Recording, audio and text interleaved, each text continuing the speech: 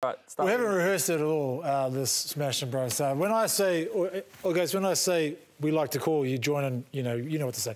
We're time to check in on the toughest segment of this show. Something that we like to call... Smash them, bro! Smash them, bro! Smash bro! Warned you. I warned you.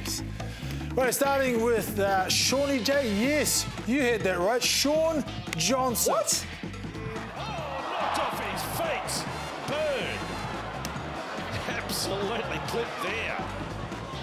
He may not be the biggest or hardest Johnson in the world, but it does the job. SJ, smash bro! Oh, check out the fend on this cobber. I mean, Cobbo.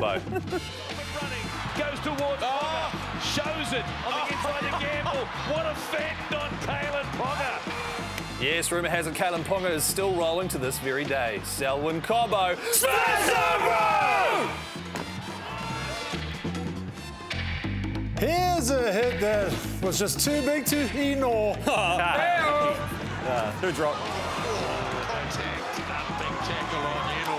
magnificent. Oh, look at the speed he comes on to this pass.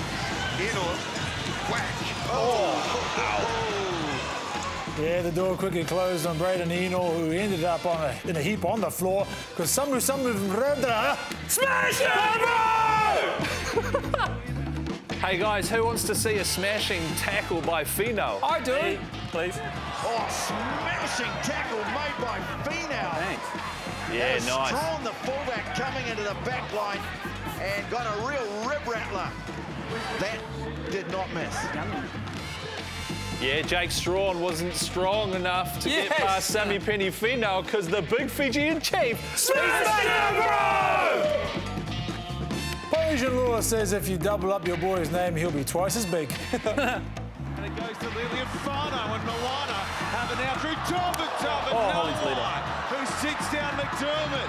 Still going Tavatavanawai, and he's the most dangerous runner in terms of tackles broken, and this is why. Tavatavanawai was double, double trouble for Tate McDermott because Timoci smashed him, bro! Oh, he may be a big, scary panther, but Joseph is just not a cat person. Luai with it. There's kicker! Viliame kick out. Oh, Danny's teammates love it. And by the right winger, Joseph Suaalii jamming infield and just goes whooshka. Get that into your Viliame. Yeah, Kikau was coughing up fur balls and footballs as well because Joseph Suaalii smashed him, bro! Still got it, mate. Nice work. Thanks, Chris. Thanks, guys. Nice to have you, Chris. How'd you get here? Back to Aussie.